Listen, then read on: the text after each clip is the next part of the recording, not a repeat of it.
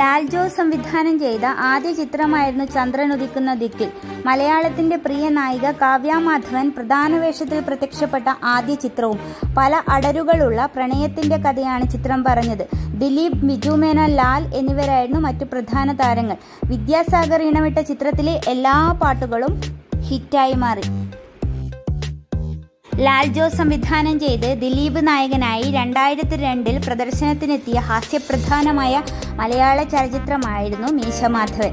രഞ്ജൻ പ്രമോദാണ് ഈ ചിത്രത്തിന്റെ രചന നിർവഹിച്ചിരിക്കുന്നത്. നല്ല സാമ്പത്തിക വിജയം നേടിയ ഈ ചിത്രം ഇതേ പേരിൽ തമിഴിലും ദൊൻഗഡു എന്ന പേരിൽ തെലുങ്കിലും പുനർനിർമ്മിക്കുകയുണ്ടായി.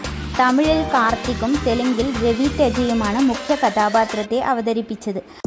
ജയരാജ് സംവിധാനം ചെയ്ത തിളക്കം എന്ന ചിത്രത്തിൽ ഉണ്ണി കഥാപാത്രങ്ങളെ ദിലീപും കാവ്യയുമാണ് അഭിനയിച്ചത്. തിളക്കം എന്ന ചിത്രത്തിലുമുണ്ട് ചിലത് പറയാൻ. ഇരുവരുടെയും പ്രണയ നിമിഷങ്ങൾ.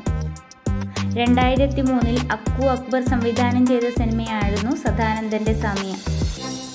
ആക്ഷനും സാഹസികതയും റൊമാൻസും നിറഞ്ഞ ഈ മ്യൂസിക്കൽ സിനിമയിൽ പൊതുവെ കോമഡി കുറവാണെങ്കിലും നല്ല കഥയാണ്. അന്ധമായ വിശ്വാസങ്ങളുള്ള ഒരാളുടെ കഥ.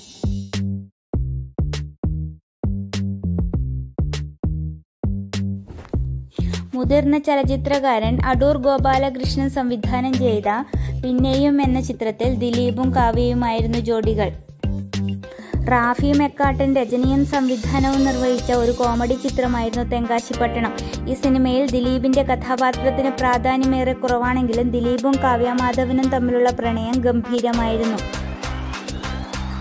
മലയാള സിനിമയിലെ ഭാഗ്യജോഡികളായ ദിലീപും കാവ്യ മാധവനും രണ്ടായിരത്തി പതിനാറ് നവംബർ ഇരുപത്തഞ്ചിന് എറണാകുളത്ത് വെച്ച് വിവാഹിതരായി.